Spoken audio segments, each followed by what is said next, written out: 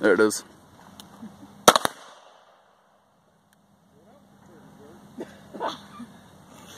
Your turn. it's not a six pound break, I'll tell you that. Is there, we have to be at 15 feet, uh, 15 yards for it? No, the minimum uh, safe engagement distance is uh, five, five and a half feet. Why don't you step up? I don't think 15 yards is relevant. I, I can get it. Actually, we could take it all the way back to probably 45 yards.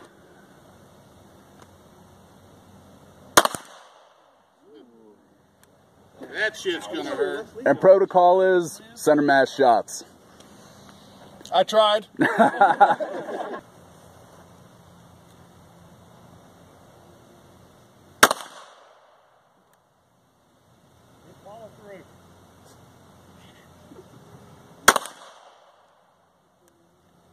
That should be it, right? Should be four.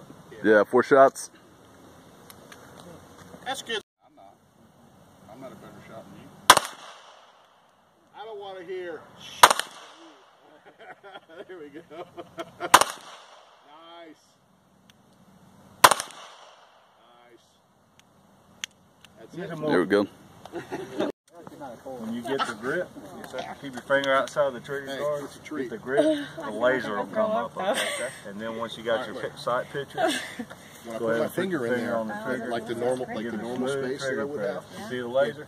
It, it made me jerk. Based on your Okay. So no, just feel where the trigger is, and then and then straight back. Follow snatch. through, follow. Ah, that's a boy.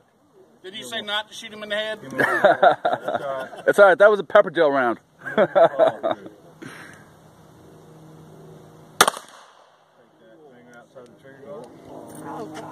You got this. You got this. Sure. When you grab the grip, Yeah. that'll turn the laser on for you. Finger outside the trigger guard, the laser. Smooth and follow through.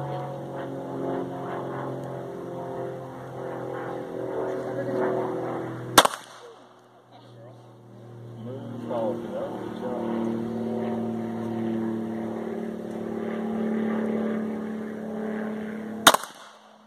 That was a good job. I'm assuming like y'all use